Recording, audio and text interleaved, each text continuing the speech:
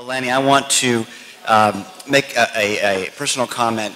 I've been a, a, member of leadership for about 12 years now and was coming with my parents for five years before that. And um, there, there's a person here who I think we all see with her high energy level and the, the devotion she has to this organization. But now that I'm on the executive board, I've seen it at a whole new level. So from George Sandikos to Paulette Poulos, who is a truly a gift to us, thank you for all that you do. Thank you, really, truly. It's remarkable. It's just remarkable. She works on three hours of sleep a night because she's working late and up early in the morning. So, our, our, our speaker today. Uh, for over 80 years now, uh, the Manatos family has had a unique opportunity to work with hundreds of our country's most influential policymakers and thousands of our community's best and brightest across the country. Well, this morning, I have the pleasure of introducing someone who we believe rises to the top of both lists and she's nowhere near finished with her ascent. Many of you know Ambassador Eleni Tsakopoulos Kounalakis by the title of her new book, Madam Ambassador. Although in our house she's known as Ambassador Nuna. Eleni made Greek American history when she became the first Greek American woman ever appointed as an ambassador of the United States. She made U.S. history as well, because at age 43, she was one of the youngest women in U.S. history to rep represent our country abroad. And when she was sworn in as U.S. Ambassador to Hungary, where she served from 2010 to 2013, she was sworn in by then Secretary of State Hillary Clinton, a longtime close friend of Eleni's and her family. It was an intimate private ceremony that included only three others with whom Eleni is also extremely close. Her dad, a U.S. Supreme Court Justice, and the first female Speaker of the House in U.S. history. As the kids say nowadays, that's how she rolls. During her service, Ambassador Kounalakis received two meritorious honor awards and was nominated by her staff for the Susan M. Cobb Award for Distinguished Diplomatic Service. She's continued her relationship with the State Department as a non-resident fellow and serves as a member of the Association of American Ambassadors. Regarding her book, which is titled Madam Ambassador, Three Years of Diplomacy, Dinner Parties, and Democracy in Budapest, I strongly encourage you to read it. She generously donated a copy to each of us in our registration bags. But don't take that somewhat biased word from her longtime friend Kubato. Listen to what others had to say about it. The Washington Post said, quote, Kounalakis was a quick study, bringing a politically savvy businesswoman's instincts for negotiation and the reading of power dynamics. This is one political appointee who was in no way in over her head. Former Secretary of Homeland Security Janet Napolitano said, quote, it's an inspiring example of a businesswoman turned diplomat taking every opportunity to effectively advance the interest, values, and security of our country. House Democratic leader Nancy Pelosi said, Ambassador Kounalakis brings us inside the world of American diplomacy in a personal, accessible way, sharing her experiences as a diplomat during challenging times. Others of you know Eleni as Madam Philanthropist, committed to the advancement of Hellenic ideals she and her husband, a veteran journalist and fellow Cretan Marcos Kounalakis, who were married by His All Holiness Ecumenical Patriarch Bartholomew at the Ecumenical Patriarchate, endowed not one but two university chairs at Georgetown and Stanford dedicated to the study of Athenian democracy. She serves on the board of the Hellenic Initiative, is a founding member of Faith, and as many of you know, a longtime member of Leadership 100. She received the highest lay honor one can receive from the Greek Orthodox Church, the Medal of St. Paul, and served for nearly 10 years as a trustee of the World Council of Religions for Peace. Others of you know her as Madam California. For 18 years of her career, Lenny was a very successful Northern California businesswoman, serving as president of AKT Development Corporation, one of California's largest land development firms. Recently, Governor Brown appointed Eleni as chair of the California Advisory Council for International Trade and Investment. She also serves a member of the board on UC Berkeley Haas School, School of Business, where she received her MBA in 92 and she earned her undergraduate degree from Dartmouth. Previously, she served as a member of the California State World Trade Commission, the California First Five Commission, and the San Francisco War Memorial. And on top of all that, she's a wonderful mother to her two teenage boys.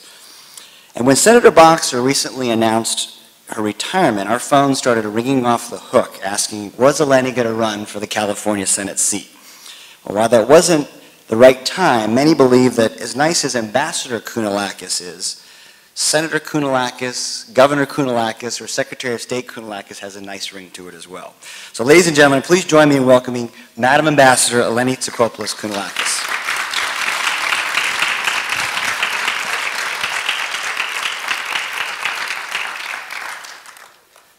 So, uh, Eleni has graciously agreed to uh, have a, a, different format here, where it's more of an open discussion, a, a, a give and take Q&A between the two of us, and then we'll open it to the audience for questions. So uh, the first question I have, and let me get this passage ready. This really is a fantastic book. I really enjoyed it. Um, what role have orthodoxy and Hellenism played in your life? Now, before you answer, let me read uh, a passage from the book that uh, really touched me. And again, this is a book not about her Greek American heritage, about her serving as ambassador in Hungary and dynamics there, but she really devoted a lot of attention to the subject matter that's all close to our hearts. As a young Greek American, I grew up with stories my father told me about ancient Greece. Some of these stories he'd heard from his father, who'd heard them from his own. Others he'd learned as an adult, reading the works of Aristotle, Plato, the great philosophers, and historians of the golden age of Greece, the birthplace of democracy. After college, I lived in Greece, attending lectures by the great professor and rabbi Nikos Stavroulakis, while working as an editor at an English, English language daily paper, the Athens News. Before I returned to the United States in the summer of 1990, I worked an archaeological site in Episkopi, carefully and slowly evacuating 2,400 year old structures just a few miles from the village where my father was born. When I was a girl, the Greek Orthodox Church had been the center of our family life. As far back as I can remember, all of our friends were Greek. Some were fresh off the boat, or at least off a plane from Athens, while others were first and second generation Americans whose parents or grandparents had come from the old country. The members of this tightly knit community helped and supported one another, skinned and roasted lamb together, and spent long hours in the church hall socializing after services. Now, here's a part that I think you all will particularly enjoy. By the time I returned from Greece as a young adult, my father and Sophia had become involved with an organization called Leadership 100. Leadership 100 was and still is the most prominent association of Greek American leaders in the country. Though it had been established to support the Greek Orthodox Church, the group had brought together some of the United States' most influential and successful people. People engaged in polit U.S. politics, international affairs concerning Greece, and the dissemination of Greek history and culture. Leadership 100 was the epicenter of Greek American influence, sophisticated in its outreach and organization, even if its members still like to celebrate with whole roast lambs and vigorous ring dancing. so, Lenny, Orthodoxy and Hellenism, tell us about your, your connection. Oh, my goodness. I, I don't know where to begin, Mike. Thank you for the beautiful, gracious introduction. Thank you for choosing that passage to start things off. Um, but first, may I just recognize Your Eminence, Your Grace, Paulette. Thank you all so much for having me here today. Um, I think Mike just made it clear that Leadership 100, the Greek American community, our beautiful church, um, is all very central in my life. And uh, I first came to leadership, I think I was maybe 25, 26 years old. My father and my stepmother brought me. That's where we met. Uh, and I met so many friends and so many people in this community who I continue to be close with. So it's really a great honor to be back again and to be here with my husband, Marcos. Um, you know, I came back from Hungary about two and a half years ago, and it was such a profound experience for me where I felt that, you know, one day I'm a businesswoman in California, and the next day I'm top of the chain of command of a U.S. embassy in a former Soviet satellite state, and a lot happened, a lot of experiences, a lot of, you know, being, um, having a top secret SCI clearance and everything that goes along with that. And then three and a half years later, I was back home again uh, in our apartment in San Francisco, and um, you know, seeing old friends who were, would always invariably say to me, "So what was it like? What was that experience like?" And it took me about 300 pages to talk about it and to explain what it was like. And I'm so grateful that I took the time to write down my story because I think I might have forgotten parts of it. And it, it really was um, an experience that I wanted to be able to bring to my friends, to my family, um, and to have memorialized. And there's no question that what informed my journey every step of the way um, is being a Greek American woman, an Orthodox Christian, uh, and, um, and a, a member of, of the, the Greek diaspora. Uh, and, and the culture and the um, morality that goes along with both being Greek Orthodox and being a Philhellene, a, a Hellene, really. Um, I think that for many of us who grew up in the church, uh, so much comes naturally. But you hit a point as a young adult where you really have to make a decision of how you're going to um, engage with, with your faith going forward. And for me, it really happened um, when I was about in my late 20s, and I was invited by a friend of my father's, Angelo Tsakopoulos, I know a close friend of many of you here. Um, his name is Richard Blum, and he was putting together a group of his friends and business leaders from different religious backgrounds to become trustees of an organization called the World Council of Religions for Peace, which the Archbishop is also very involved in. And it's one of the largest, if not the largest, interfaith organization in the world.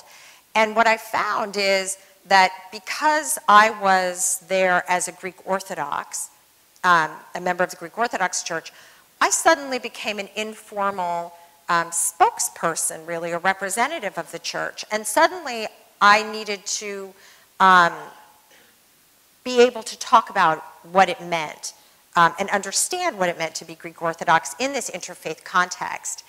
And um, I had, uh, was sitting at a lunch with, um, uh, with uh, uh, uh Archbishop um, Demetrios, and I asked him um, what he thought about Buddhism because I was reading quite a bit and there were Buddhist members of this organization. And he, he answered some questions, and then he leans in and he says, Just remember, Eleni, everything you're looking for, you will find in our church. And I started reading and understanding and talking and asking questions of the religious leaders in my life. And, you know, what emerged um, for me um, most strongly above all else is that our faith is, without question, it is based on love. And when you think about love as a guiding principle, as an organizing principle, as the principle with which you engage in not just your personal life, but in business and in politics and in foreign policy, in leadership, you start to understand that it's not, it, it's not always easy to approach the world and to engage in the world with that philosophy. And yet, what it produces, what it produces when you approach any problem, any situation, any challenge from a place of love, of compassion, of understanding, of forgiveness, it makes a very big difference in how you end up at the end of those challenging moments and difficult negotiations. And um, you know, and so really, that's, that's what I embraced about our church. And, and so it has become very central uh, to me and my, my philosophy, not just my personal philosophy, as I said, but in my philosophy of leadership. Beautiful. beautiful. Um, if we could uh, pivot to something that you're spending a lot of your time on these days, the Hillary Clinton presidential campaign. In 2008, you were uh, national co-chair of that Hillary for president campaign and we're the head of Greek Americans for Hillary. This campaign, taking it to a whole new level, already hosted two extremely fundraisers, one in California, one in New York. And in fact, I guess just yesterday, we're in Nevada with uh, campaigning for Hillary with your two young sons as well, which is great. So we'd love to hear more about your role in the campaign and why you think Hillary Clinton would be a good president. So, um, look, one thing I know about leadership is that we all come to this with very, very different political uh, ideology and background and activism. Um, and so I guess I take a little bit, I, I, I, always try to take the diplomat's view of things because when you work overseas, you realize that um, the outside world looks, us at, looks at us not as Democrats and Republicans or independents, they look at us as America. And so, um, yes, I have worked with Secretary Clinton. I've known her for so many years. I believe in her leadership. I have seen her problem solve. Uh, and I know her as a policy wonk, as a person who gets into the thick of things, who actually, as divisive as her public profile can be, um, is very effective at knocking heads together and trying to find solutions across party lines and across, as I saw her in, as Secretary of State, um, bringing people together with old, divergent, entrenched points of view to try to find solutions and a way forward. So I am very, very committed to her campaign. But I'll also just point out that um, it's very important as Americans in this world that is becoming more and more complicated, more and more difficult, that um, you know, when you're faced with great challenges, bringing people together, finding ways to come together to meet those challenges is much better than fighting among ourselves. And, you know, the ancient Greeks certainly knew this. They, they um, could fight among themselves at the Peloponnesian, you know, in the, the um, city-states and the Peloponnesian Wars. But when there was a great outside threat, as there was uh, with the Persians, it brought them together. And so I really hold out great hope that um, as we face the challenges ahead of us, that we come together. Elections tend to be a time where we, you know, what they say it's a contact sport, and we roll up our sleeves and, and we get into it. Um, but I think it's very important that, um, that we do recognize that the rest of the world is looking to American leadership, and finding ways to come together is very important. And I think the old guard definitely has had that. I was watching part of Antonin Scalia's funeral this morning on TV. Maybe some of you saw it. And um, someone commented that um, Justice um, uh, Ruth Bader Ginsburg was very broken up about the, su the sudden loss of her colleague. And we know the two of them constantly at odds on the Supreme Court with their different opinions. Now, I'm a big fan of Ruth Bader Ginsburg, we um, liberal Democrat women call her notorious RBJ for her, for RBG for her, uh, for her positions. And he, of course, on a very different part of the spectrum. Both of them probably more vocal about their, their personal views. Um, and she was so broken up by this, she said she felt she'd lost her brother. And so to me, that's a real example that we can have vigorous debates over the direction of our country, over political philosophy, over differences in opinions over policy. But we have to remember that we all agree in the importance of our country and the strength of our country and the security of our country. Uh, and that ultimately we, we never seek to undermine our leadership, whether we voted for them or not, in terms of their ability to move our country forward. Democratic primary, the Republican primary, and please include your thoughts about the Donald. Look, again, I, I always, I always hesitate because I right. know we have a broad spectrum of people here, and you know, these are just my personal opinions. Um, but you know, one of my sons, so my sons are 13 and 14. They are um, volunteering in Nevada right now. They were, they were canvassing, and now they're at a caucus site getting ready for what will be in about 45 minutes, the beginning of the, of the uh, Nevada caucuses for the Democrats. So uh, again, I have very strong, passionate, engaged feelings um, about who I'm for. But one of my sons said to me, if Donald Trump is president, are we going to leave the country? and I said, if Donald Trump is president of the United States, we are going to respect our president that is how it works. We have to come together. We will vigorously can, you know, organize for and advocate for our um, issues. And among them, of course, the issues affecting relations between Greece and the United States, which is something else that I'm very passionate about. But if we let go of in, of, of, respect for our institutions, for the institution of the presidency, for the institution of the Supreme Court, of the institution of Congress, of the institutions of um, not just government, but of universities and, and all of these things that we've developed in our very advanced civil society, we will live to regret it. And so that, that is truly, Mike, that is truly how, how I feel. Now, of course, partisans over a couple of glasses of wine, I may give a little bit more um, uh, partisan opinions on it, but, but I do really think it's very important, especially because we come together here as Americans, we come together here as members of the Orthodox Church, we come together here as fellow Greek Americans, and what connects us, that is why we all come together. And I think it's very important that, that we focus on that while we're here together. If anyone is more interested, interested in getting more involved with Hillary's campaign, of course, you can come to me on the side and I'd be happy to talk to you.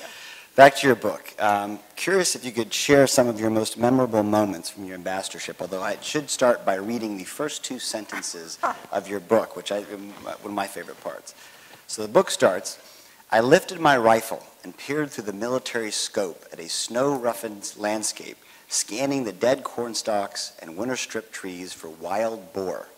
Crouched in the chill of a Spartan wooden hunting blind, listening to helicopters patrol the nearby border of Hungary and Ukraine, I wondered if any other United States ambassador had ever been in my situation. so tell us about some of the most memorable situations you were in. Um, so yes, chapter one of my book is called Boar Hunt. And uh, a friend of mine who's a writer told me, you know, you have to start your book with this story because of all the stories you've told, it's the one that's most revealing of you. And, uh, and so I thought about why she would think that that was true, because she's a good, a good friend of mine. And, um, you know, I grew up in the Sacramento Valley, again, with this very vibrant Greek American community, everyone helping each other. Um, and, and, working together and celebrating together and worshiping together uh, and hunting together.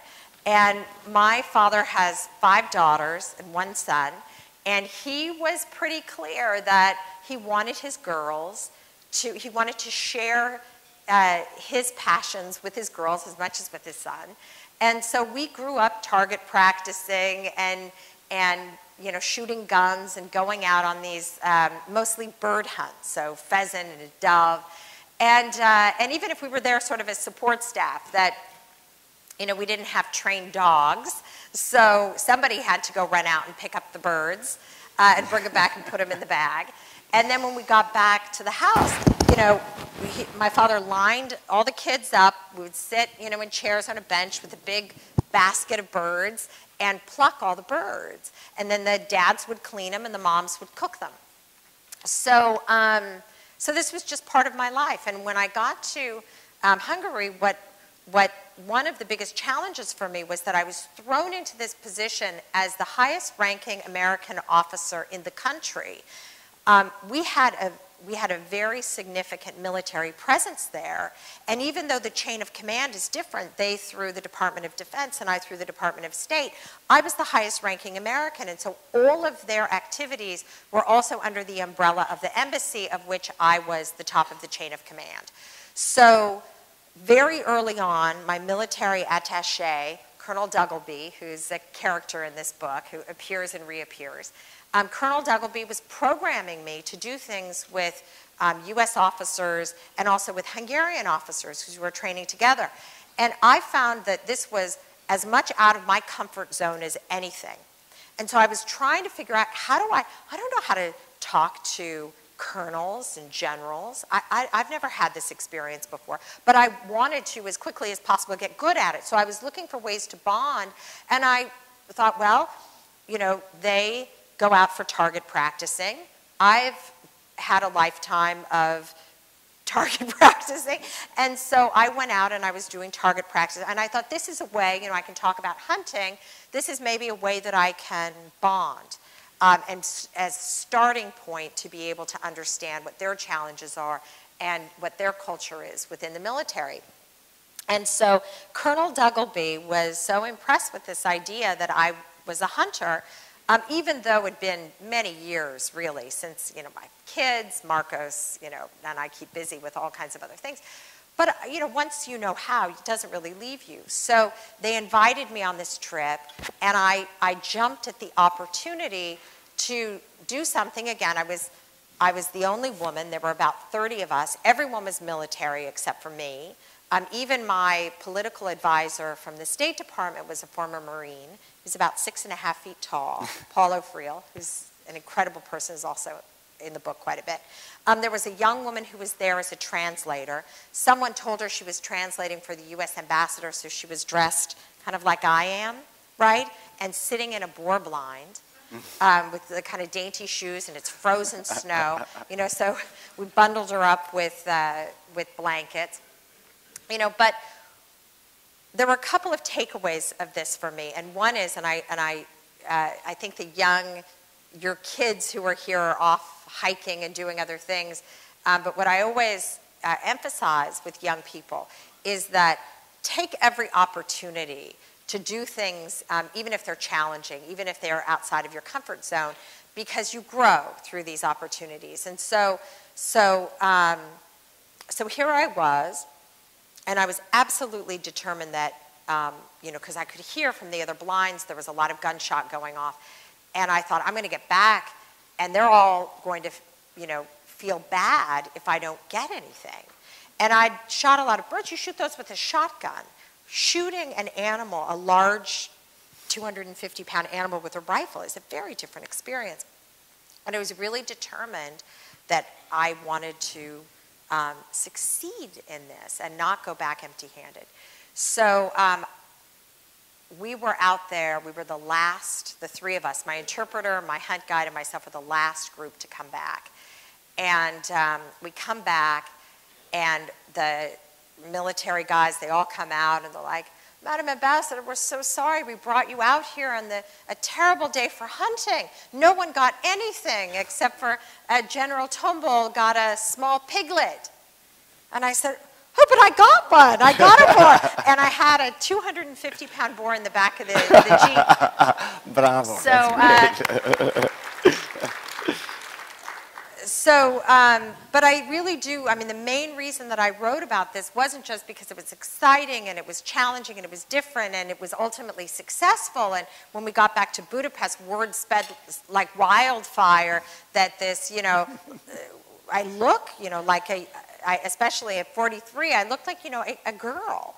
And, uh, and it really helped set the stage um, not to be underestimated. Don't mess with the ambassador. but, but truly, that experience for me was about engaging with the military because soon after I came back, um, I was um, seeing a group of about 15 Ohio National Guardsmen um, with their Hungarian counterparts um, off at the airport as they were rotating into Afghanistan. And it was really very important to me to do everything that I could to understand the US military to be worthy of that role. And I took uh, two trips into Afghanistan during the time that I was, I was there. I went with the Hungarian military also down to Sarajevo and to Kosovo because they had a major operation there, which the United States was very involved in. Uh, and I took these opportunities, and I will tell you that the takeaway for me um, is great respect, uh, admiration, and appreciation for our military and for the role that it plays in keeping us safe. What impact do you think you had as ambassador? It was a very turbulent time. It was, it was. So I hope you read at least parts of the book, and I wrote it in such a way that if you want to kind of skip the Hungarian experience, you can. Um, but it, when I first got there, the relationship between the United States and Hungary was so well established. Hungary is a member of the, the European Union. Hungary uh, was a member of NATO, um, a member of the visa waiver program.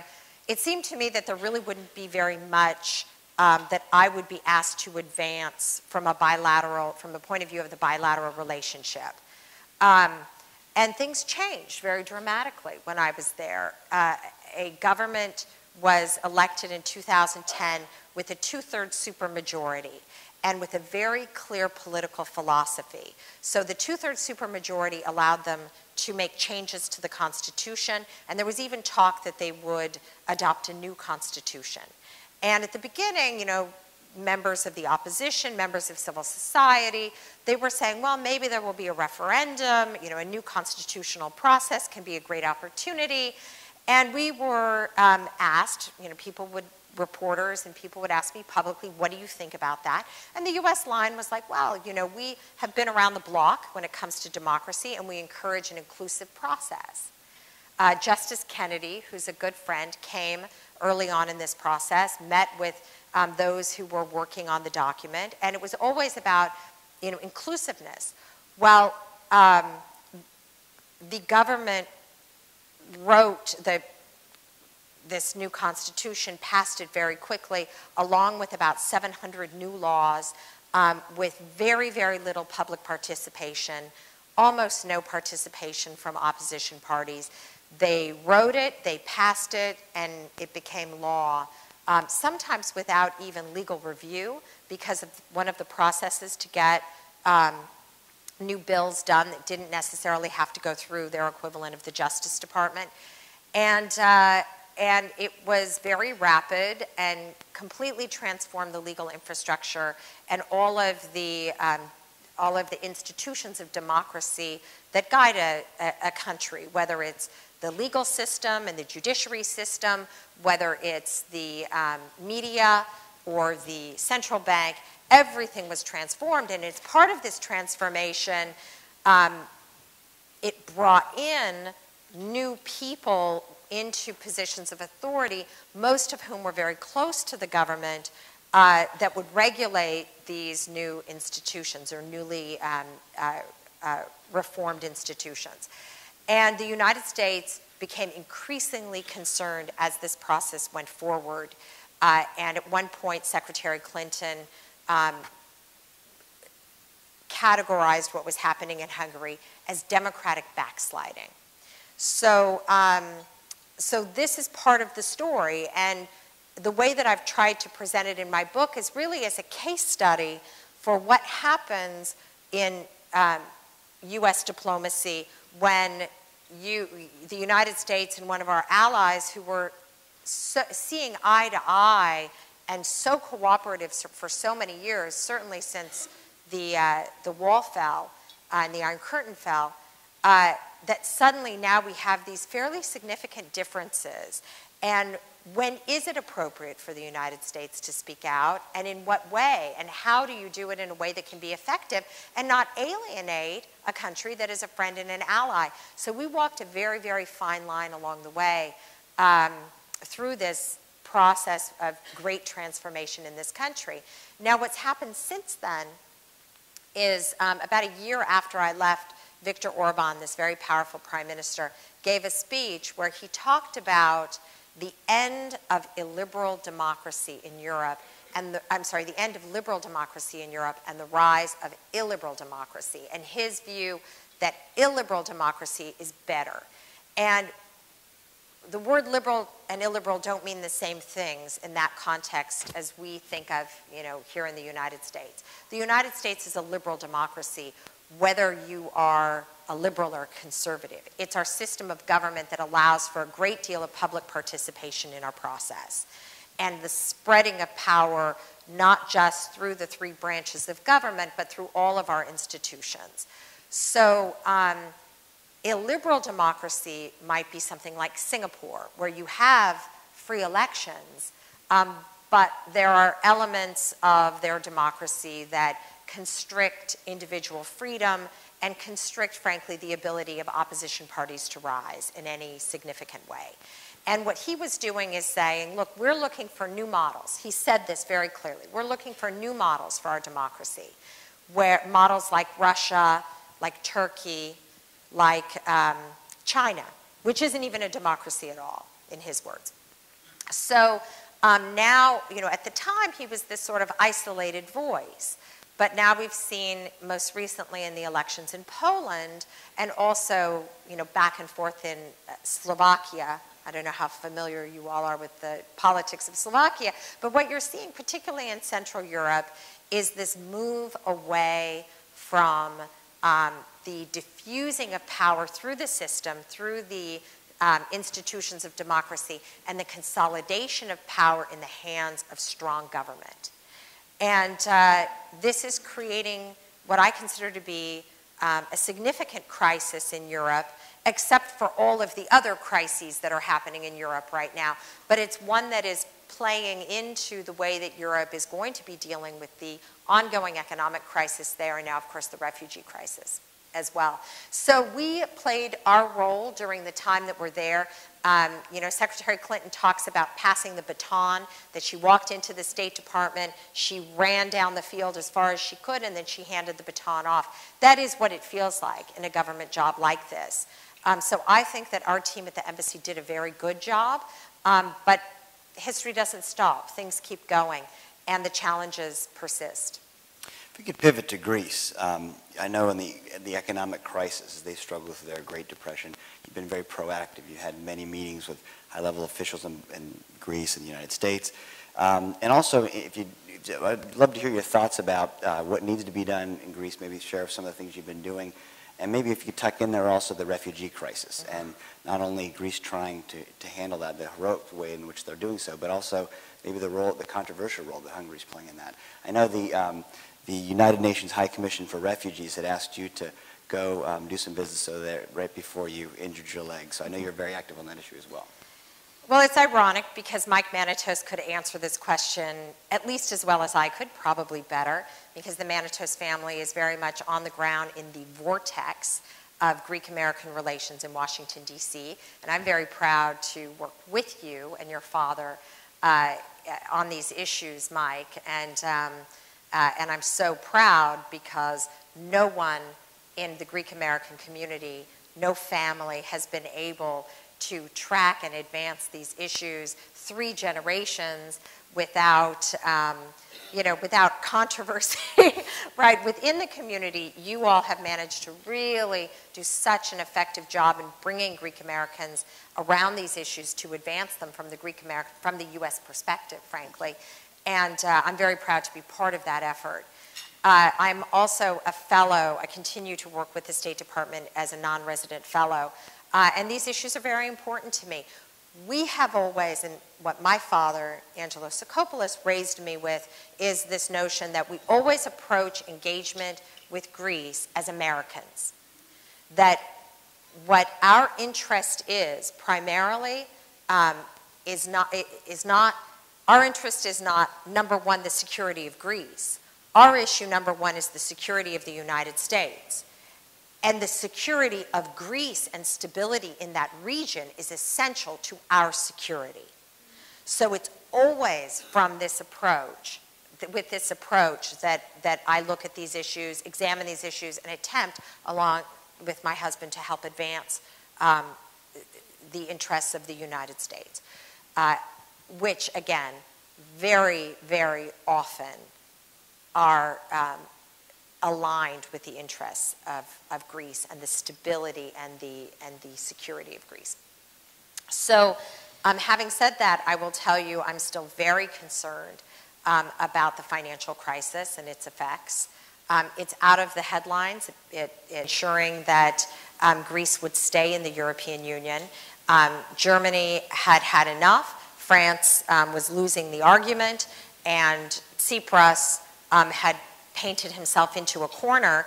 And right about the beginning, middle of July, Greece was 48 hours away from a Grexit. And the White House engaged very vigorously to convince the Germans to give this one more shot and to convince the Greek government to back away from their very clear um, positions in order to be able to give it one more chance for Greece to stay in the Eurozone. And um, that to me was a very critical point, but the work is certainly not over. And I know um, there are people here, and I'm going to point out my other Kubata Costanza Zboku, Konstantopoulos, who's here as well from Greece. She's the developer of Costa Navarino. If you've been or if you're thinking about going, uh, extraordinary, extraordinary place, and she is doing so many things in helping to, in helping people who are most affected in Greece by the crisis uh, in, including working with the church and their efforts. And I think you may also have seen the Yeralanu family is also here. These are the great-great-grandchildren of Andonis Benaki, who founded the Benaki Museum. Mike and I are very involved in trying to help the Benaki find support here in the United States. And I could talk very passionately about the Benaki for a long time, but it is a rock solid, extraordinary organization. Um, and if you have a chance, go and see the exhibit uh, and give them whatever support you can uh, during this crisis. But, um, but the economic crisis is going to continue to be um, a challenge for Greece and for Europe and for the US, I think it's safe to say, for some time um, going forward. And it's largely because uh, there are still intractable problems in how to dig Greece out of the hole. Um, but I'm very hopeful that, um, that the worst is behind us and that the commitment that was expressed last summer to keep Greece in the Eurozone is, uh, and part of Europe in, in the economic union is, is going to stick. The refugee crisis is um, very, very troubling, of course, um, because uh, whereas I think that the million to million and a half refugees that have already made their way into Europe can probably be uh, processed. These people can be, their, their applications for asylum can be processed, places can be found for them. Um, there is no end in sight to the refugees that are leaving Syria in particular, but other countries in, in Africa and, and in the Middle East because of the, um, uh, because of the violence in, in, uh, in the Middle East and in Africa. So um, I'm heartened by the fact that NATO has taken its first step in to help be supportive of um, the uh, uh, of um, engaging in a productive way. It's still unclear exactly how NATO will engage. Right now, at a minimum, it looks like they'll have patrols um, in between the coast of Turkey and the Greek islands. So, at a minimum, these thousands of lives that are being lost, really unnecessarily, that, that can be stemmed. But um, the Europeans have been vigorously engaging with Turkey on the um, on, on the numbers of people who are leaving camps in Turkey to go into Europe. You know, again, about a million and a half people have have entered into Europe in the last year, year and a half. The um, number of refugees that are still in Turkey is vast. There are somewhere around two to three million more refugees in camps um, in Turkey. There are several million who are in refugee camps uh, uh, in Jordan and in um, Lebanon. Thank you, Marco.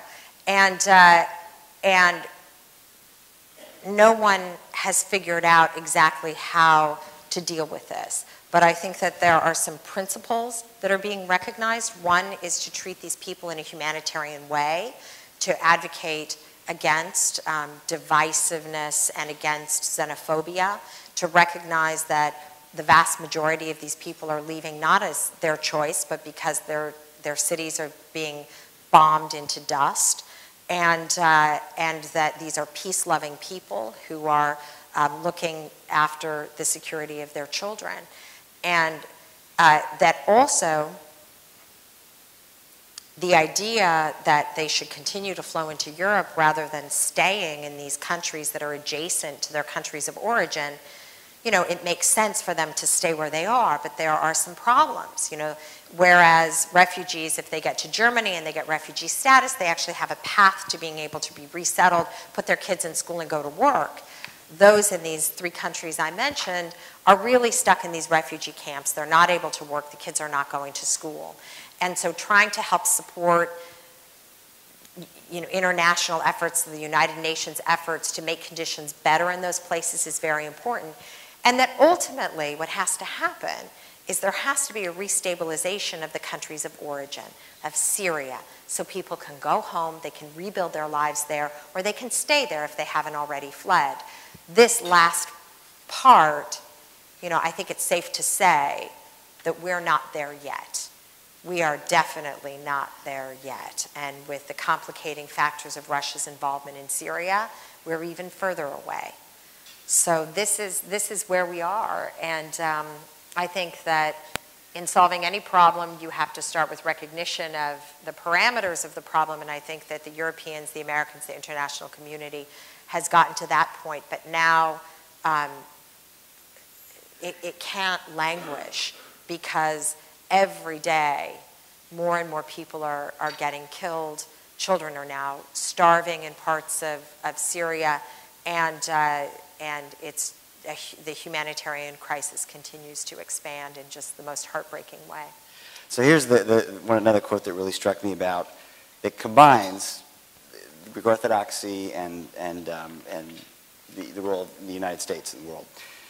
As I held the wet, slippery, slightly whimpering infant in my arms, the Archbishop gave what to me has long been the most meaningful blessing of what is certainly the most important rite of passage in Christianity. Quote, Lord, make Lucas a valiant warrior in the battle between good and evil that rages on this earth. End quote. I knew this blessing well, but for the first time, I didn't hear it just as a member of the Greek Orthodox faith. I heard the blessing as an American. One year into my ambassadorship, I was more convinced than ever that there was indeed a battle between good and evil that raged in the world.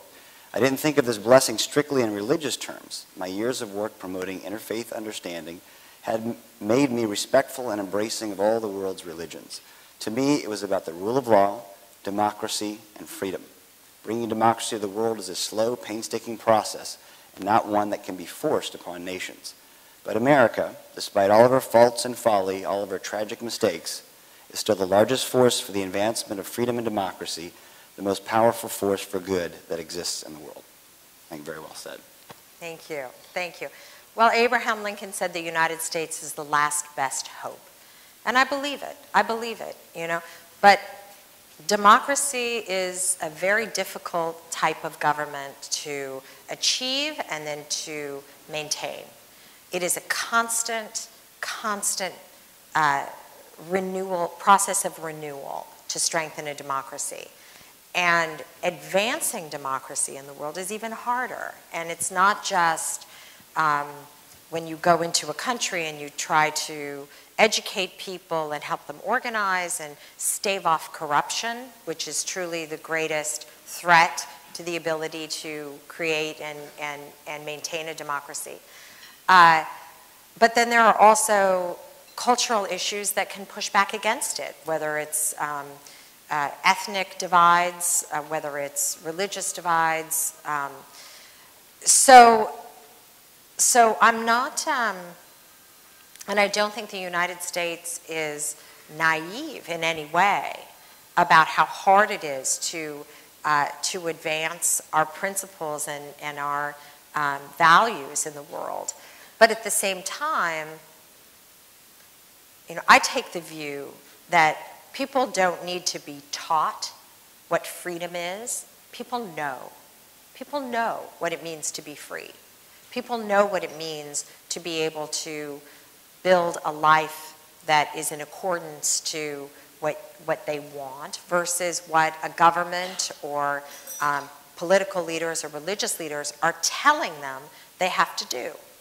And so that gives us a great advantage because if you believe that the human spirit is seeking freedom on some level and fairness on some level, and they don't need to be taught, they just know that we can leverage that.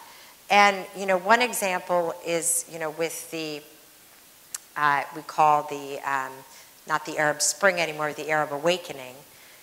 The um, Tunisian uh, fruit seller who um, lit himself on fire in protest of the corrupt government that would not, and system that to him seemed to only advance certain people, and that for the average person like him who wanted to open a store, and every effort he made to try to turn his cart into a store was squashed, right? He didn't want to set the rules for the country. He wanted to open a store. And all of these all these, these attempts that he made were thwarted. And he, self, he lit himself on fire as a demonstration of his frustration and anger of a system that constantly put roadblocks in his way.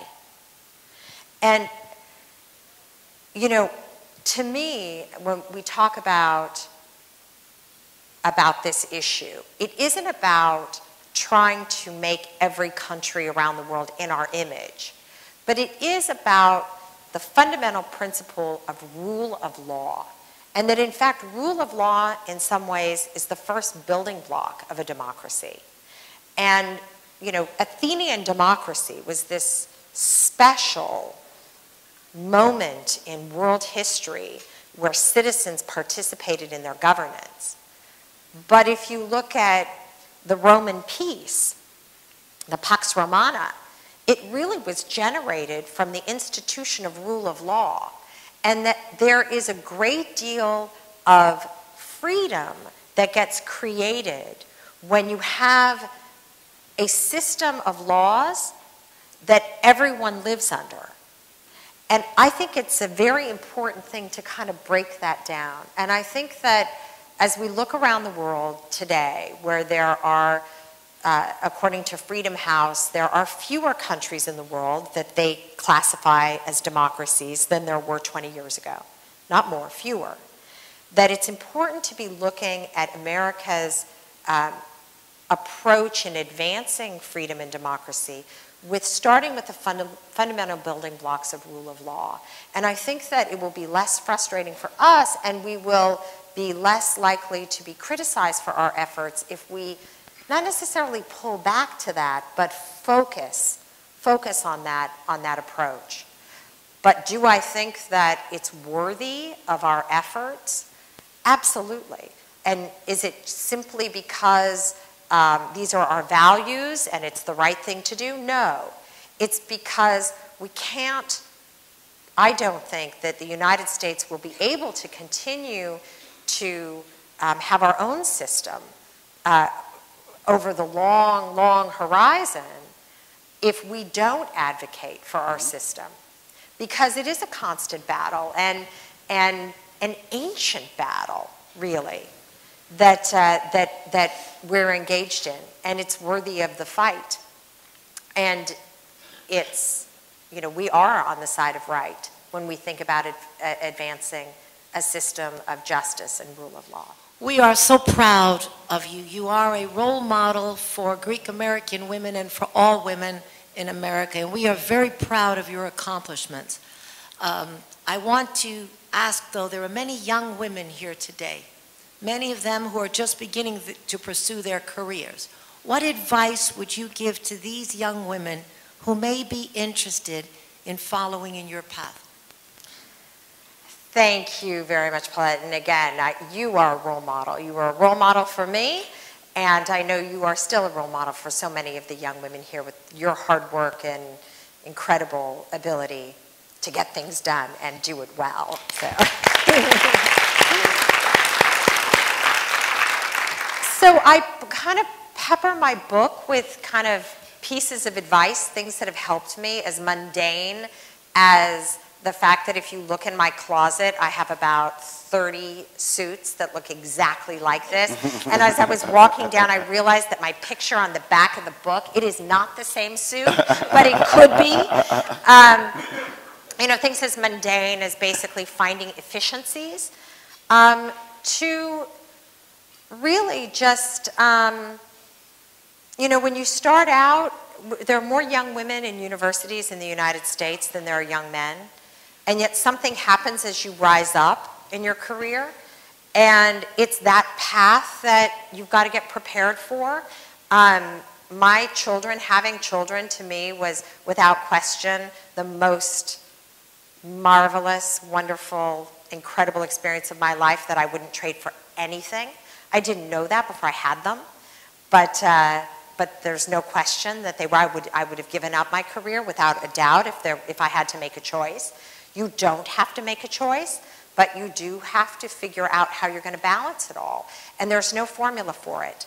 Um, if you, things like having um, your parents able to take care of your kids for a few days so that you and, you know, Laura, you have a full-time job, that can make the difference between being able to work and not being able to work. So um, you have to kind of cobble it together. But one thing I think is very important is that for young women is that there's, there is this sort of moment where you have to decide how, you have to figure out if you have kids, how you're going to cobble it together and keep it all together. And um, I think it helps to know that you can back away from a 24 7 job, but not lose the thread of continuing to stay active and involved. Um, Nancy Pelosi has been, without question, my most important mentor. She had four children in five years. And she told me, when my boys were babies, she told me, look, there were days when I, I didn't even have time to wash my face, right?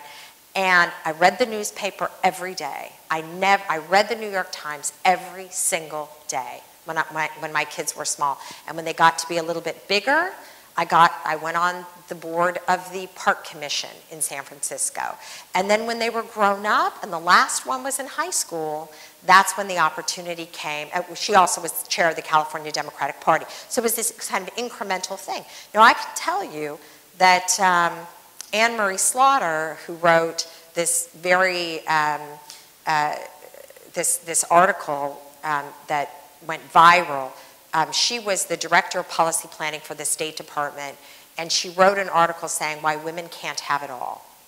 And that she went into the State Department, her husband and their middle school age kids were in um, Princeton, and she was commuting back and forth, and it was a 24 7 job, and her life was falling apart, right?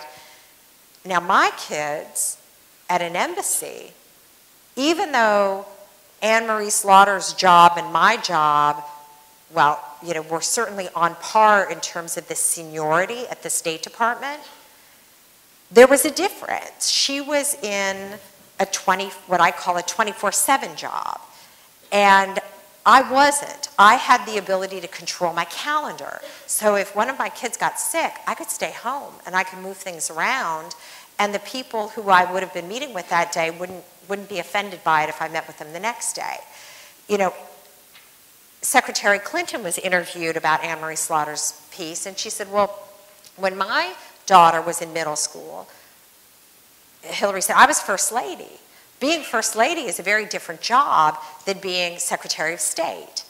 Because again, it goes to uh, education um, and their early business experiences is to, you know, you're, you're looking at your biggest challenge, I think, is when you have to figure out how you're going to balance it all and not give up having kids if that's something you want to do.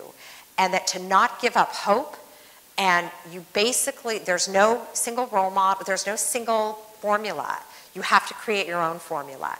But even if you have to back away from more work intensive type of jobs, there are other jobs you can do that are less work intensive in terms of the hours and the control of your schedule, but no matter how far you have to back down, you can hold on to the thread of your career because one day your kids are campaigning in Nevada without you, and uh, a few years after that, they're off in college.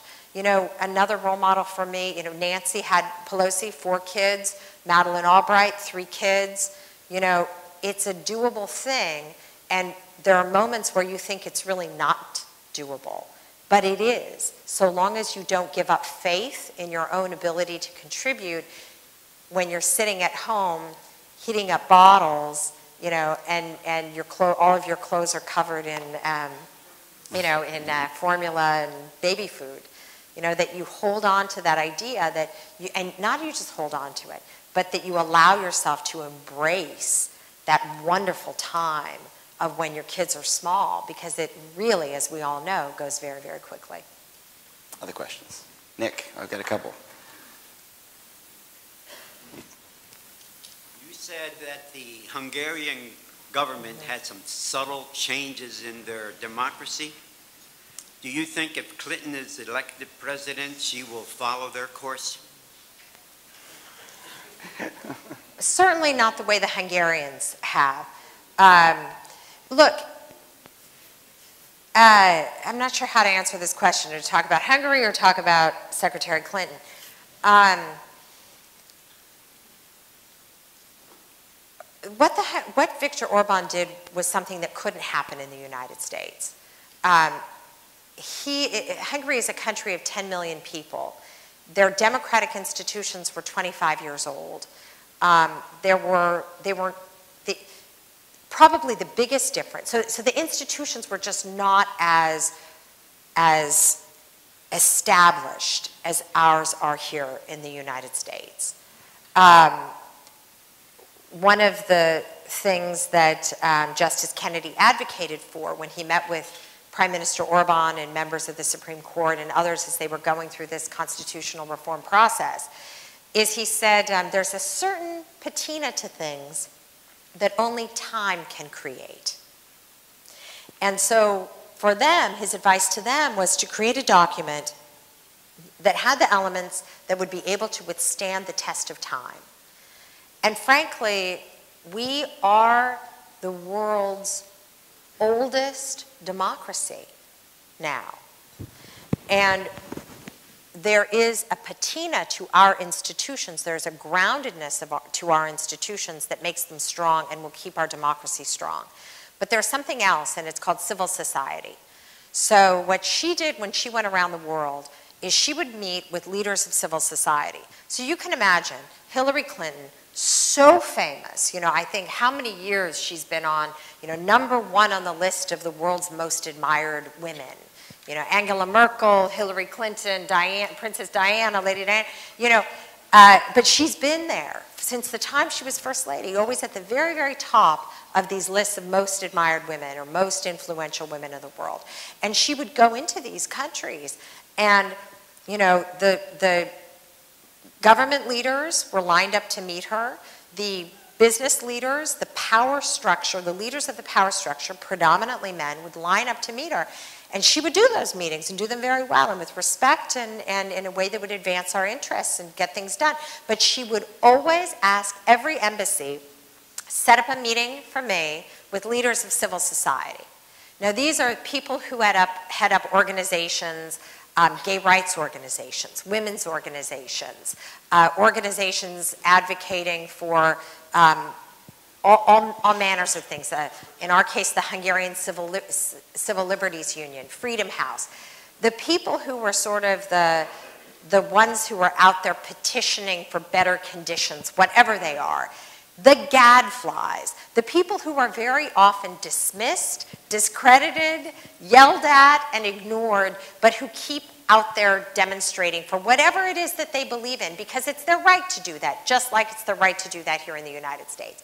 And she would meet with these, and, and these people are, they can't believe it. They can't get meetings with their own government officials. And Hillary Clinton is going to meet with them. And it really shook things up because what she did is just by bringing those people into a room and meeting with them, she elevated their voices, she empowered them. Now, you know, it was certainly her right to do it. She wasn't organizing against governments. She was just simply had a policy of meeting with civil society wherever she went. And in the United States, we have this incredibly established system. Leadership 100 is an organization of American civil society lawyers associations, doctors associations, school parent associations. This is all in the realm of civil society. And what Hillary Clinton um, argues is every healthy democracy has three legs of the stool. A, you have government, you have business, and you have civil society, which is basically everything else that happens in a democracy that isn't government and isn't business interests right? So for us, we don't even use the word civil society because it is so much a part of our society, of our country, of our communities. But in many countries in the world, the power is really in the hands of the political leaders and the business leaders, and that's it. And so, in order for countries to get closer to having a, you know, a system of rule of law that protects the people, you really have to have civic engagement by individuals who know that they're not going to get thrown in jail or prosecuted for their activity. So I know that if she becomes president of the United States, a big part of her foreign policy will continue to be this advocacy that people engage as members of civil society in their country. Why? Because the United States cannot stand in for the role of civil society in countries around the world. People have to do it for themselves. We can help, we can meet with them, we can support them, we can encourage them, but we can't do it for them. So it was very much part of her um, organizing principle, as she would call it, of smart power, that, that encouraging people around the world to model civil society organizations and activism in their countries the way that we do it here in the United States is the most important thing that they can do to help advance their own interests and the strength and stability of their countries. We're getting close to our end time here, so let's just take a couple more questions and let everybody get to this Next. beautiful Hi, day. Lenny. I enjoy very much your book. It was a tremendous read, Thank and I really enjoyed it. I congratulate you and your family for all the great work that you did for our country and for U.S., Greece, and Cyprus relations. I guess the question I have is, um, when you're being briefed, when you take on a job of ambassador of the United States abroad, you serve at the pleasure of the president, his agenda, and the foreign policy of the United States. Did it ever concern you, or did you get briefed on, hey, you can't exercise your own opinions here. You really have to go out there and promote this agenda. And did you ever have any problem with that in terms of going into this? And how did they relay this to you?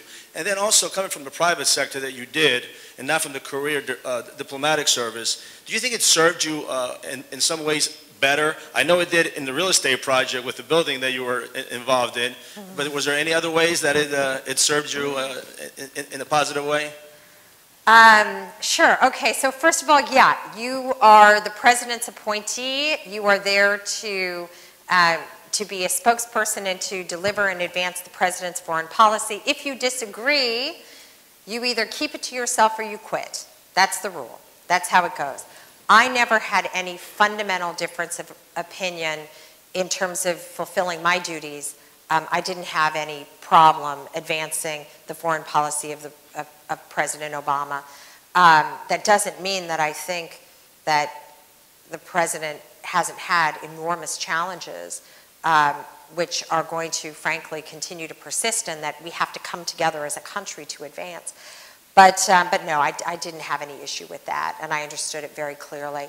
Um, as a businesswoman, sure. So we had this terrible hole that we had dug ourselves into with the Hungarian government over a, what was called a, a property swap. We had this um, historic piece of property where our Marine detachment, Marine security detachment lived, and the Hungarians desperately wanted, back, wanted it back. Beautiful piece of property.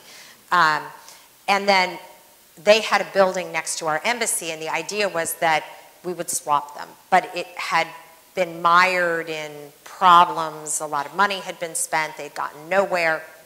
And yeah, it was very fortuitous that I came into an embassy with a very difficult real estate portfolio. And if you go back, actually, before I left, uh, we had topped out the reconstruction of the building next to us. And there is no question that it was my real estate background that helped us get there. And I'm very proud of it because uh, it certainly made the footprint of our embassy in Budapest much better. And uh, it reduced our cost dramatically. So I'm very, very proud of that. But I, but I also think that, you know, we have this funny system, right, where most ambassadors from other countries around the world are career diplomats. They come in as young diplomats, they train, they rise through the chain of command, and then they go out as ambassadors. Three out of four, roughly, of our ambassadors come into the State Department and rise through the chain of command. One out of four of U.S. ambassadors are political appointees. Not all of them are real estate developers from California, let me tell you. A large chunk of them are former Congress members, former uh, senators, former um, state government officials, uh, people who come out of think tanks who have expertise in an area. Our very, very close friend Mike McFaul, a professor at Stanford who ended up in the White House, um, was the architect of the Russian reset and became a political appointee as the U.S. ambassador to Russia. So that one out of four political appointees, most of them are people with tremendous expertise. Then there's this slice in, in, in, policy work for those countries. A slice of them, a slice of our ambassadors are people like me. And when I first got to the State Department, I'm going to be honest, I really questioned whether or not it was such a good idea to send someone like me to run a several hundred person embassy when you had all these unbelievably talented State Department officers who've trained their whole life in this work. And what I found was that, and I truly believe this, that's why I can be you know, very frank and open about it, is that there is something that business people bring to the institution of the State Department, to our Foreign Service, that is very helpful. Now, what they say about us, the word in the hallways at the State, is that we're among the best and among the worst, right? So it's really important that when the White House picks po political appointees from the business world, they really scrub them to know whether or not they're going to be able to do the job. Now, for me, the most important quality was to be a good manager because you've got incredible talent and incredible expertise, but at the same time, these career officers, they, they respect the chain of command so much so that they may not challenge you. And so if I say, well, you know, maybe we should do this, I think we should do this, they'll say, okay, that's what we're going to do, even if they think that it's folly. And so what's very important is that you create an atmosphere where your experts, because they truly are experts, feel very, very comfortable telling you when they think you're wrong and telling you when they think that uh, uh, there's a better way to get something done. And I developed, I worked very, very hard to create that, um, that element of trust within our embassy that the officers, you know, I was their superior officer. And I was encouraging them to, to work with me, to brainstorm with me, to talk with me, and to challenge me. And, uh, and it was, a, it was really a two-way street, but it was the most, it was more important than, um, it, it was very, very important. And because I had a business background, you know, my father raised me as a closer, right? Very often in policy, you can start, you look about moving the ball down the field, but there are moments where you have to close, right? And I think that that was a very important thing that I brought to the table and that I also was able to teach to these officers, right? Not to be afraid to close the deal and to stand by your, uh, you, you, know, tough decisions that, that you make. Well, first of all, um, I encourage you to talk to Constanza Zbroku. She's been through this. Um, her father-in-law, Captain Vasily Constantakopoulos, assembled several thousand individual parcels in order to be able to have the land to be able to develop Costa Navarino and the golf courses. And the stories are extraordinary. Um, Geroulanos, who, it, he's here, hello Pablo, uh, and his wife Lara. Lara has fisheries in Greece. And um, in fact, I, when I was meeting with uh, the foreign minister right after he came into power back in Washington a few months ago, I said, what are you going to do about this? I have a friend who has a fishery. And uh, they say that there's not a single fishery in Greece that is operating legally because the legal infrastructure is so convoluted that they couldn't comply even you know, if they wanted to, which they want to. And he looks at me and he said, are you talking about Pavlos Geroulanos? so um, this is a persistent problem, and it is unacceptable, and it is without question the biggest roadblock to Greece's recovery. There is no question about it. There is investment monies waiting on the sidelines to go in if there can be assurances that the Greek system can there can be the kinds of structural reforms that the, that the creditors are mandating take place in Greece that will uh, create more transparency in the system, that will clean it up, that will make it more predictable. But it is ultimately going to have to be down to the Greek government to do it. And um, I know Costanza was saying that there is still some hope here, some serious uh, faith that this government is going to continue with the reform process to pass the appropriate uh, rules, uh, legal changes in order to be able to get there. But it's going to be a long road. And what I have advocated is that no one has more stake in a transparent, fair, and, and, and, and non-corrupt system in Greece than the young entrepreneurs in Greece. And you know, we do these efforts to, and the, the Hellenic Initiative and the US government, we do these, uh, these things to try to help train Greek entrepreneurs. And I've said to the embassy, you don't need to teach a Greek how to be entrepreneurial.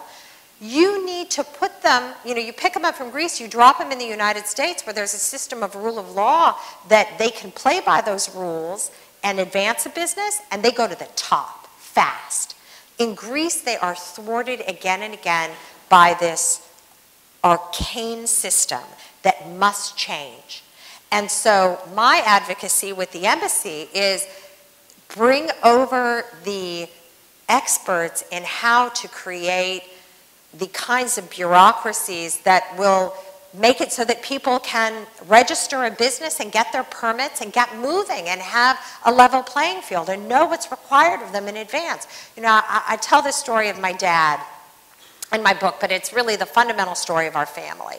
He, so I think most of you know, my father, Angelo, who is, would have been here, but he's, he's in Palm Springs right now, and he is the most dynamic, energetic, extraordinary person I know in my life, and I know many other people feel this way about Angelo too. Um, he was a farm worker in the Central Valley, 14 years old when he came here. And he went to school, and he was encouraged by some family to go to college.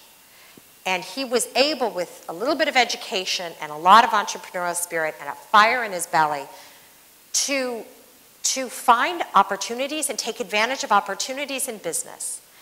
And at one point, and this was probably the turning point, he found this incredible opportunity outside of Sacramento for a major development into, you know, a, a major real estate development opportunity. But he didn't have any money.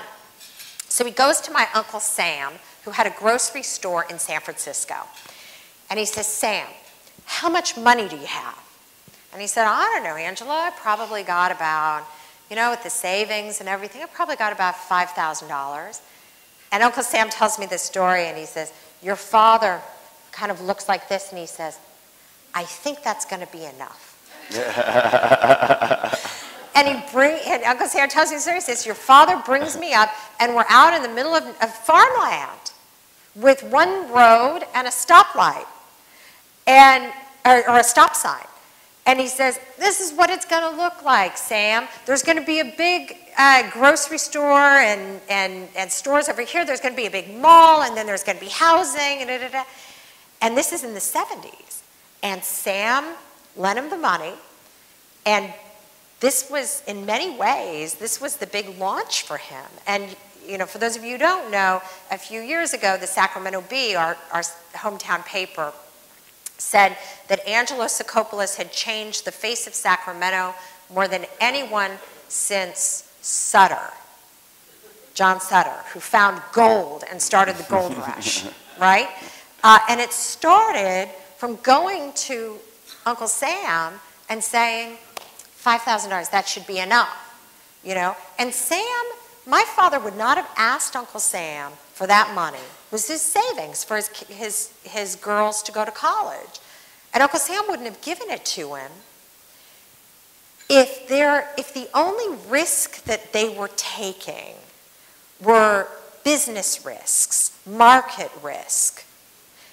If the risk that they were taking was that somebody was going to show up at your door and say, give me a payoff or you have no project, give me a payoff or you have no deal, you wouldn't gamble your life savings if you had that kind of risks that were inherent in a system that, that was beset with corruption, right? So this is it. This is the fundamental element of the structural reforms that Greece is now faced with deciding whether or not they can try to change. And again, it goes back to this question of rule of law. It goes back to the, uh, to, to the question of whether or not the younger generation in Greece will do what we often say here in the United States you never let a good crisis go to waste.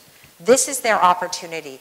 There are trainers, there are, there are technicians who are ready and have been attempting to work with the Greek government to set up systems that will work better for business, particularly small and medium sized business. But if it works for the SMEs, it works for the big developers as well. And this is the opportunity. And I think that any chance any of you have to advocate for this very fundamental thing, please take it. Uh, and I am, I am hopeful. I am hopeful. It is a challenge. People don't change easy. Institutions don't change easy. But this is an opportunity. Madam Ambassador, great to see you again. John Manos from Chicago. Yes. Thank you for being here. Thank you. Through your, and uh, by the way, uh, Senator Kounalakis really sounds good to me. Could you speak to us a little bit, please, about your experience possibly from the diplomatic level, about the plight of the patriarchate, what you saw, the rest of Europe, uh, from us here, the resolution being passed for freedom of religion through the 48 states. Sure. What else could we do, should we do, and your other experiences there? Thank you. Thank you. Thank you for asking that question. It's very important uh, to take every opportunity when we're together to talk about the patriarchate. Uh, I visited the patriarchate the first time when I was a student. I was in, studying classics. We were in Istanbul uh, with the Dartmouth Classics uh, group, and it happened to be Pascha, and we went to, my father said, oh, you have to go. So we went to the patriarchate, uh, and then we were there for, on Friday night for services, and the, uh, one of the bishops said to me, you know, you're invited to go to a very special place. And he wrote down on a piece of paper where I was supposed to go and how I was supposed to get there to have Easter Sunday. And I had, there was one other Greek American student on the group, in the group, and I brought her with me. And we ended up on a boat to Halki. And we spent, I was 20 years old, and we spent Easter Sunday on Halki, Uh, Heybeliada, the Turks call it um, which of course is the location of the historic um, school Seminary. uh, seminary, um, which has been closed. and certainly was, was already closed then in, in the uh, late, ni- late 80s. So um, Marcos and I were married in the Patriarchate, and I write about how that came to be as well. The fact that we as a community are so organized and so mobilized and continually are raising the issue at the highest level of the independence and freedom of the patriarch and the patriarchate is the only reason why they continue to have the level of protection that they do. You agree? We have to keep it up. We have to keep it up. We have to continue to raise this at the highest levels. I was married there because he invited me before I met Marcos. He said, When you're ready to get married, you come to the patriarchate and we will have a beautiful wedding for you. And what I didn't realize until, of course, we got there, we had so many friends and family came. Father Alex Karloutsos arranged the whole thing. We were on the front page of every major newspaper in Turkey. And it helped. I, we, for, for us, it was very personal that we wanted to be married there. But what we realized is that our act of doing it helped elevate the patriarchate and that the Greek American community was aware and involved in what was happening there. I will tell you one other thing, and I don't want, I'm really, I really don't mean to be partisan here, but I can tell you that Vice President Biden has been an enormous champion for the patriarch and the patriarchate and for Greece. And when Hillary Clinton was First Lady, she has been so focused on the issue of all kinds of freedom, but religious freedom in particular. She went on a friendship visit to Istanbul And she made it clear that they were going to go and visit the Patriarchate. So this was in the early mid 90s. And the Turkish government did everything possible to dissuade her from going. And when it was clear that she was resolute, she was not backing down, she was invited, mostly through the efforts of our community here, and she was going. She said she was going, she was going. In the middle of the night before her visit, they went, the Turkish government went and paved the road in front of the Patriarchate because it was so deteriorated. So keeping the spotlight on the Patriarchate, the 60 Minutes pieces, the advancing of his lectures on the environment, of the Patriarch's lectures on, on the environment, of, of the fact that this is the ecumenical Patriarchate, not one among equals, but the first among equals. That this is incredibly important work for our community to continue to do. And I, I will say, I do think, and I do believe very much, that if Hillary Clinton becomes president of the United States, we ha will have a very, very powerful advocate uh, in this work. But it will continue to be the fight of our community. Uh, it, it, it has been going on since 1453, and it will continue to, to go on into the future. And our role is very, very important. And just to add on that, uh, in great part due to your efforts, she was the first First Lady in U.S. history to visit the Patriarchate, and when she was there said, I will bring my husband back. Yeah. She did, and he was the first president of the United States to visit the Ecumenical Patriarchate. That's very special. Chris, you want to finish us off? Years ago, while in Vienna, the late Metropolitan Michael of Austria and Hungary Yes, I knew him. was telling us that there was a Greek Orthodox cathedral in Budapest. And it was confiscated by the communists during and after the Second World War. When Hungary became, an, after the restoration of the democracy, and Hungary became a democratic state, they refused to return the cathedral to the Orthodox. Yeah. And the Metropolitan was telling us that if he had the money, which he claimed he did not, he would have taken the Hungarian government to the European Court of Human Rights in Strasbourg. Are you aware of the dispute? And were you able to help as the ambassador of the United States of Greek Orthodox faith in the return of the cathedral to the Orthodox Church? Um, if any of you have the opportunity to go to Budapest, I encourage you to go and see it. It's beautiful. It's right on the Danube. And it was built by the Greek community of Budapest in the 1800s. Uh, many Greeks wanted, did not want to live under the Ottoman Empire. And if you remember the borders of the Ottoman Empire, they ended at Belgrade um, on the way to Europe. The border was Belgrade. And if you traveled from Belgrade up the Danube, the first major city you would hit outside of the Ottoman Empire was Budapest. And it was a thriving economy. Again, I talk a little bit about that. It was one of the capitals of the world. The first subway system in mainland Europe was there. It had the largest, uh, the largest um, commodities exchange in Europe was there. It was the breadbasket and at the time in the Industrial Revolution of Europe was at the forefront of the industrialization of farm products, right? Wheat into packaged flour as opposed to just local mills, right? And uh, tremendous wealth, tremendous prosperity, and the Austro-Hungarian Empire for a Greek was much more free than being in the Ottoman Empire. And so there was a very, very vibrant Greek community there. Um, uh, and they built this beautiful church.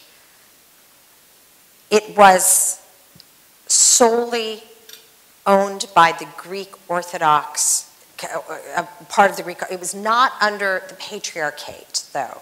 So this was part of the legal difficulty, is that when they built the church, they were separate, they were autocephalous, right? Because they said, well, the patriarch is under the Ottomans, we, this church is independent. During the Soviet uh, era, the Russian church shared the Greek Orthodox Church. Now, worshiping was not technically illegal during the communist times, but if you went to church, your children would not have a place at the university, um, you couldn't have a good job, and so the membership dwindled significantly. But it still was there. And now this church, one of the steeples was blown up during the bombing at the end of World War II, but it, but it remained, you know, the windows were, but, but, um, but it's still intact, roughly intact. And so during those years, it kind of operated with both, a presence of both. Something happened, and no one is exactly sure what. But there was where, where the Russian church basically took it over. And when Vladimir Putin went to town to visit, he went in, went there to worship and made it clear that they claimed it. Um, there was a court case, and the Greek Orthodox community petitioned to have it returned to them. And the judge ruled that since that Greek Orthodox community was a different Greek Orthodox community than the one that built it, that it couldn't be returned to them because it was never theirs. Now, who were these Greeks? I thought I had heard every diaspora story until I got to Hungary. And the Greeks in Hungary were those who either fled after um, the uh, Civil War, the communists who fled because they were afraid of a backlash, or they went willingly because they were seeking the vision of communism. So you all know the story, you know Nicholas Gage's uh, Eleni, right, the children who were being taken from northern Greece. There were orphanages, Greek orphanages, all over Hungary that were these children who were, who were taken uh, uh, during that time, and then the parents who went to try to find them after, and then never had the opportunity to go back. There was a whole town called Beloyani that, so that was the new Greek community. And I will tell you, these ended up being a lot of our closest friends during the time that we were there. So since then, there seems to have been some kind of a rapprochement where now they are sharing the church again. I believe that in their way they have resolved it for the moment in the sense that it's being used for both. Um, whether or not there can be any other solution, any other legal solution at this point, I really don't know. Um, what you find in, the, in Hungary is that you know, the 20th century was, was what they would say uh, uh, not crisis upon crisis, but um, you know, just catastrophe upon catastrophe for them. And it, it, the way that I would often talk about it is if you think about the three greatest conflicts of the 20th century for the United States the First World War, the Second World War, and the Cold War. Hungary was on the losing side in World War I, losing side of World War II, and the wrong side of the Iron Curtain. And the conflicting interests from the Holocaust and everything that was taken from the Jewish communities and destroyed in the most incomprehensible ways possible and the terrible things that happened during the communist times. Everybody was disenfranchised in one way or another. And I'm not equating the levels of disenfranchisement, right? I'm not saying that one group was more or less than another, but I certainly think that if you study what happened during the Holocaust, you would recognize as well that it was truly the, the greatest um, crimes were committed during the Holocaust.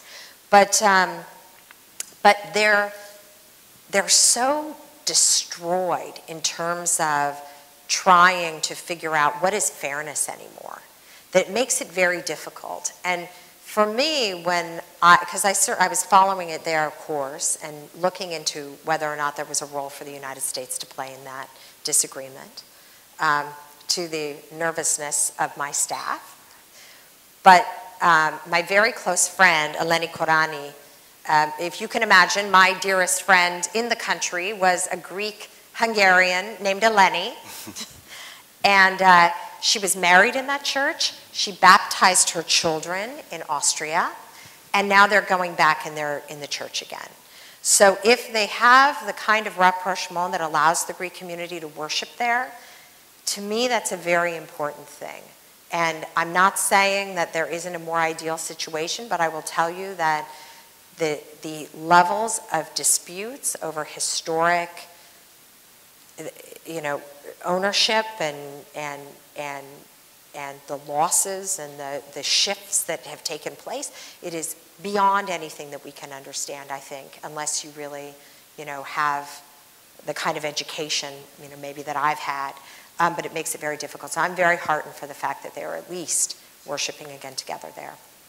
One final thing, if you hadn't had a chance to see the Benaki exhibit, you can do so on the way back to your rooms. It's just basically to the left. I'm sure the Benaki folks can guide you. But, uh, Madam Ambassador, thank you very much. Thank you, and thank you all very much. Thank you. I'd like to add my thanks to Madam Ambassador. You've honored us tremendously. It was an amazing conversation. And um, you not only make women proud, I think you make everyone proud. And um, thank you very much, and we wish you all the best. Thank you, Mike. It was a very engaging dialogue.